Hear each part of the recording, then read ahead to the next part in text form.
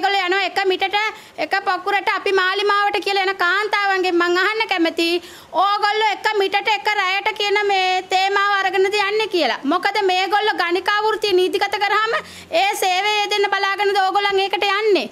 ඇයි ඔච්චර මෝඩ වෙන්නේ? ඕගොල්ලෝ කාන්තාවක් විදියට ඕගොල්ලෝ හිතන්න මේ රටේ ඡන්දදායකින්ගෙන් 56ක් ඉන්නේ කාන්තාවෝ. එතකොට කාන්තා බලයයි වැඩි වෙලා තියෙන්නේ. මේගොල්ලෝ කාන්තාවන්ගේ කරමටින් තමයි බලයට එන්න ලෑස්ති වෙන්නේ. දැන්ටත් තීරණය කරගෙන තියෙනවා ඒගොල්ලෝ දිනලා කියලා. ජනතා විමුක්ති පෙරමුණ කියලා අපි තමයි ජනාධිපති අපි තමයි බලය ගන්න කියලා. මොකද 2004 ජනතා විමුක්ති පෙරමුණට සීට් 42ක් තිබ්බා චන්ද්‍රිකා හිටපු ජනාධිපතිගේ ගවර්න්මන්ට් එකේ. ඉතින් ඒගොල්ලන්ට සීලම කුසිකරම ඇමති ඒ වගේ විශේෂ ඇමතිකම් කීපයක් දීලා තිබ්බා. අඩමංශ ජනතාවට බල්බ් කෑල්ලක්වත් දීලා තිබ්බේ නැහැ. ඉතින් ඒ වුණත් ඒගොල්ලන්ට ඒක කරගන්න බැරි වුණා. කිසිම සාර්ථකයක් තිබ්බේ නැහැ. ඉතින් එතනත් ඇමති කැබිනට් කම තමයි කැබිනට් ඇමතිවරු තමයි හිටියේ. මේ මේවල ඔක්කොම අලුතෙන් උපදිච්ච කට්ටිය වගේ තමයි කතා කරන්නේ.